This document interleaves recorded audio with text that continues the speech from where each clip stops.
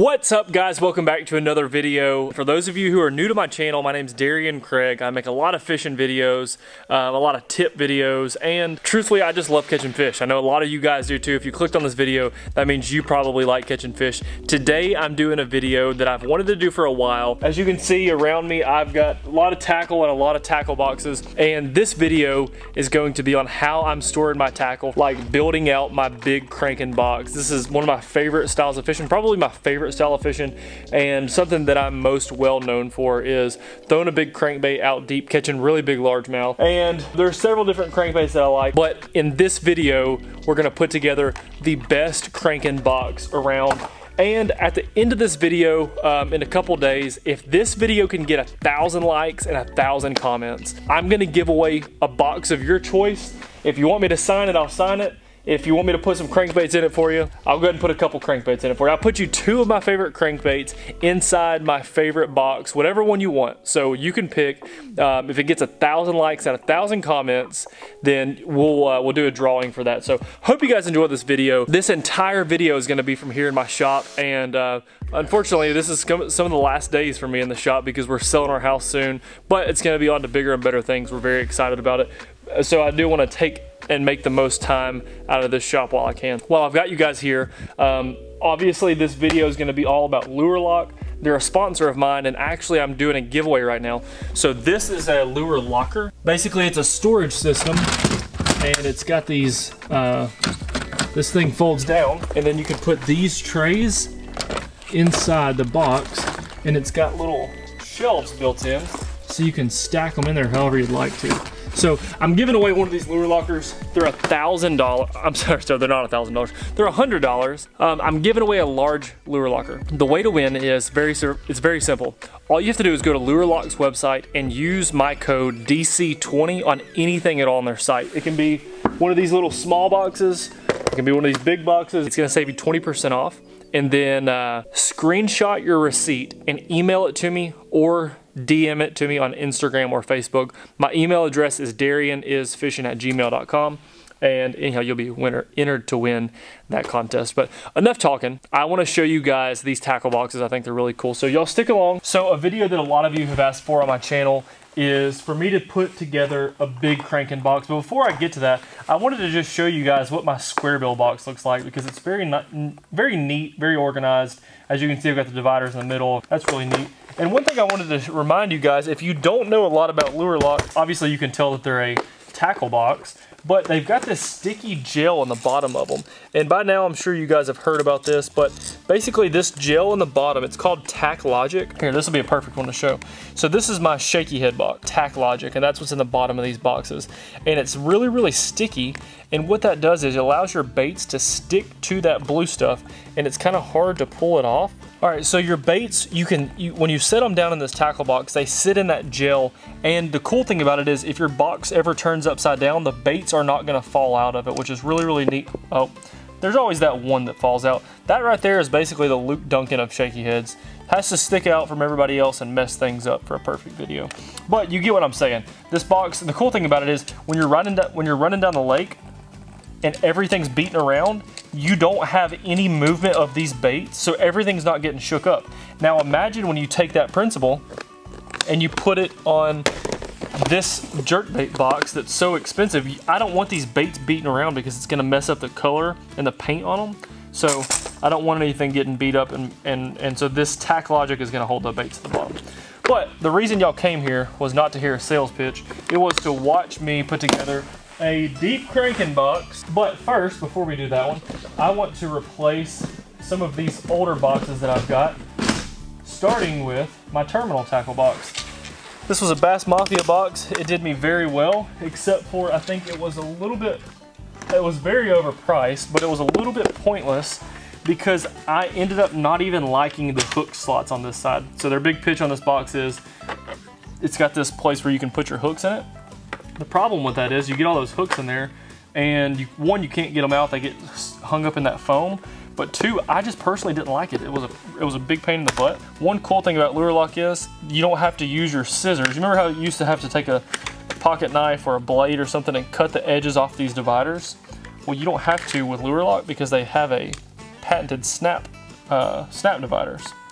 So literally, you just snap these blue things apart and you can load your box up and you can do every single one of them without having to use scissors at all and it's a perfect snap. I wanted to have a scale when I did this, like a little small scale, so that I could measure each one of these weights, but I don't have it, so I'm just gonna guess by size.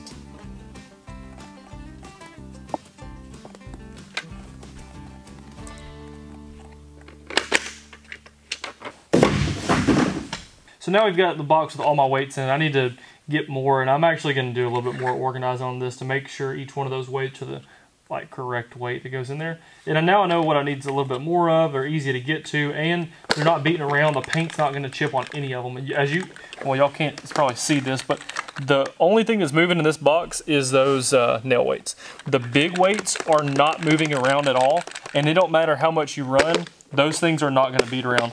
I'm going to keep this box stored flat. I don't want this box stored vertically because those are weights. They're not like crankbaits, so they will fall out. I just, I've always kept my terminal tackle box when it's laying in my tackle box. Like my dirt bait box, it will sit horizontally with other boxes backed up to it. This one will sit on top of them like this. So, anyhow, that's that box. Now for the box that all of you have been waiting for is for me to put together my go-to big cranking box. This is called a three-in-one. And the cool thing about this is, so on your standard, like old school Plano box, it has the horizontal um, dividers already in there. Well, the thing about Lure Lock is, since it has this sticky gel on the bottom, they give you the, the horizontal dividers so you can customize it how you want. And the good and there's also a lot of uh, there's a lot of room for customizing these because you can put them at whatever spot you want. But once you get this divider put in, it sticks to that gel on the bottom and it is not going anywhere. So here's what I'm going to do. I've got my C10s and I mean C15s and C20s. These baits are really close in size. So I'm going to take a Sharpie and I'm going to put a 15 on all the C15s, right on the belly. Uh, let's see, 15s and 20s.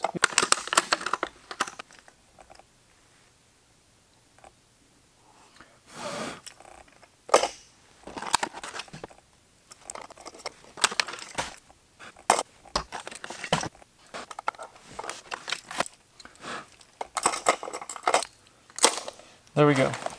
I need to get, so this has got 15s, 15, 20, and then the bottom has 25s.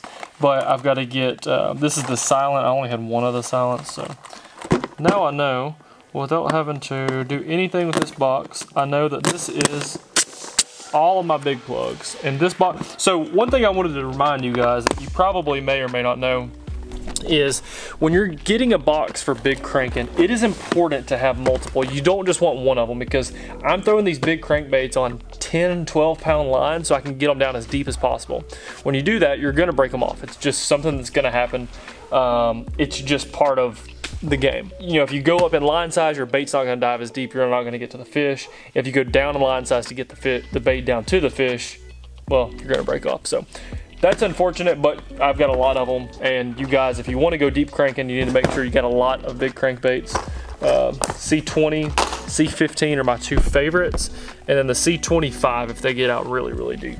All right, next up is my frog box. On my frog box, I'm actually gonna use um, a box that does not have the tak logic in the bottom of it. And to be honest, they say that you can, I have just worked really hard throughout my life to acquire this many frogs, so I'm not gonna risk it to be dead honest.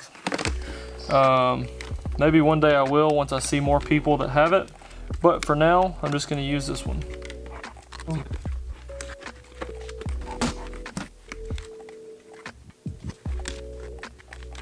There we've got my frog box, which I'm very proud of. I keep my colors pretty natural. Uh, I'll be honest with you, the color I throw mostly is a Spro color called Killer Gill, right there. It's my favorite color. And I've been throwing this one around a bunch too. Um, I don't know if it's called Sun Gill or something. It's just a real real looking color. Here's my top water box I made the other day. I'll quickly show you this one because I showed it in my last video, but it's got all my big walking baits over here. So it's got the big old school gunfish. It's an absolute killer right there. It's caught a lot of fish for me. Um, it's got the little stick, which is what Atkins won the Forrest Wood Cup on. Got the uh, some more gunfish over here, whopper ploppers, my regular Pop-Rs like the 6th Sense splashback, Rico, the G Splash, Spooks, 6th Sense, uh, 6th Sense Dogma, and then Vixens are on the top. So there's kind of my all my favorite topwater baits on that box. Here's my swim jig box, and I've got it organized um, by the sizes. So I've got like um, eighth ounce and quarters. I've got uh, three eighths and halves, halves with a bigger hook, um, a different brand, another brand, and then all my Sixth Sense ones are on the bottom. So different brands and different styles, weights, all those are in there. Here's a box I've been using for several years. I bought this a long time ago actually. This has got all my swim bait heads. So these are also categorized by weight, but I don't remember the weight, which is an issue. But this box has held up for probably three years now, to be honest, and they haven't moved. I mean, they've been just like this forever. And the cool thing is, like, you can look at this this uh, swim bait head. It's very detailed. It has a lot of color. It's really pretty. I don't know if y'all can even see that if it's focusing. Um, but you can tell that there's no paint has chipped off that. This box has been in my boat and never leaves my boat ever. And it's literally been in here for three years. It's looked exactly like that. That's cool. Jigs. Build a jig box. This is everybody's favorite box. And this is the one that everybody's like, well, can I put my jigs in a lure lock? Well, the answer is yes. And you probably can put your frogs in a lure lock too. I'm just too scared because frogs cost more than jigs. And it's taken me a long time to acquire that many frogs. Although I do have a pretty fire jig box, I'm not gonna lie. All right, so I use a ball head jig a bunch. So I'll put them on the bottom. It's a new 6th Sense ball head jig. They come with that really, really awesome. We got a good hook, got a uh, wire keeper, uh, screw lock keeper. So there's all my 6th Sense ball jigs. They got rubber skirts, hand tied, very, very good jigs. And now I've got some just regular 3 8 ounce, um, just dock skipping jigs. It's a brand I've always used.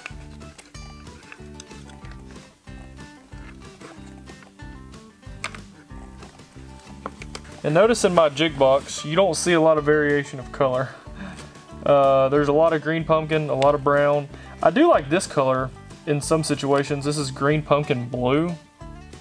I like that color, but mostly just regular green pumpkin. And then I got two slots of black and blue, and mixed in there with it, there's black and blue and purple. The reason I got so much is just different style heads. Ball head versus an arky head versus a dock skipping head. So there's my jig box. This is a fun box for this time of year. A box of Senkos.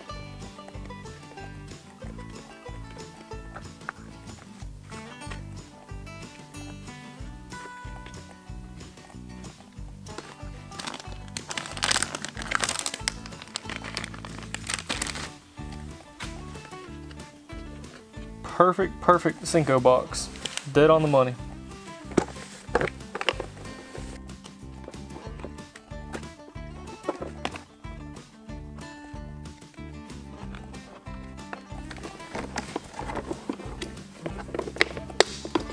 So I'm gonna get all my boxes and put them horizontally like this, and then some boxes will go behind them. So we'll get my big cranking box, put it in, square bill box, put it in, top water box, frog box, my jig box, and my random random square bill box.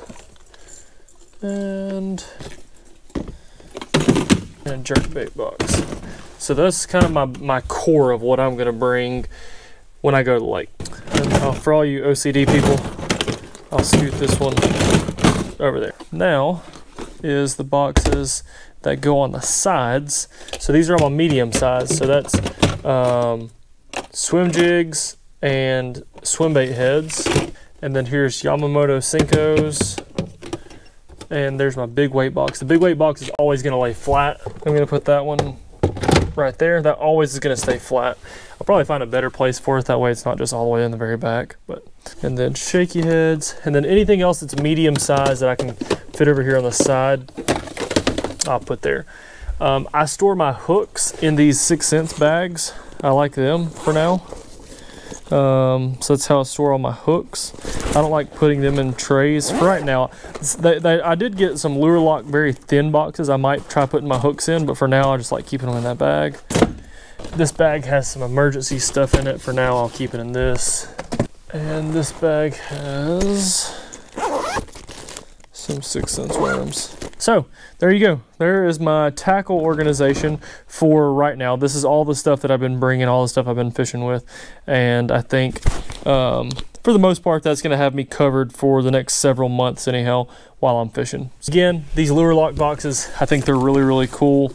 Um, I enjoy knowing that baits like, say this one, that just has a really, really good paint job on it. I am comfortable knowing that in this gel, these baits are not beating around, uh, which tears, you know, which rubs your paint off. And then now you've got all these expensive baits that are losing their paint colors for no reason. So I think it's kind of a peace of mind thing. Just something I think is an extra step to make your, your stuff not go anywhere. But definitely promise you guys this gel is not going to come off on your baits. That was my biggest worry is that the gel, the tacky gel, was going to come off on my baits. So I was worried about not putting expensive hard baits uh, in these boxes, but this tacky stuff does not come up. It's heat tested to like 200 degrees or something. So it's, uh, it's an unreal temperature that we're never going to get to.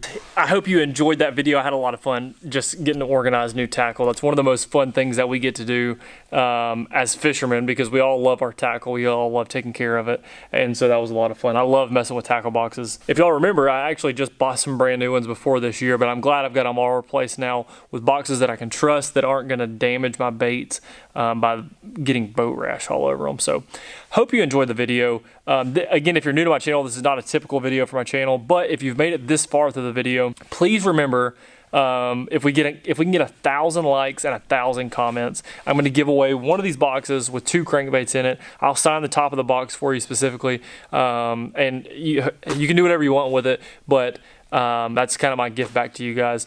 Um, I'm doing several giveaways right now, so make sure you're checking out all my videos. Turn on the notification bell so that if I make a new video, you get aware, you know, you get notified of it. And also for those of you who are new to my channel, lately I've been doing a Saturday Night Live every single Saturday night. Uh, I think this week we're probably going to start them back to being at 8 o'clock. So 8 to 10, 8 to 10.30, have a lot of fun. We drink, we cut up, we just have a good time, talk about fish and stuff. So be sure and tune in for that as well. Three videos a week on my channel, one live, that makes four videos a week. And uh, I just really hope you guys are enjoying the content. So thanks for watching this video. I hope you learned something. Um, don't forget a thousand likes, a thousand comments, and the giveaway that I'm doing for that lure locker. So hope you guys enjoyed. I'll see you on the next one.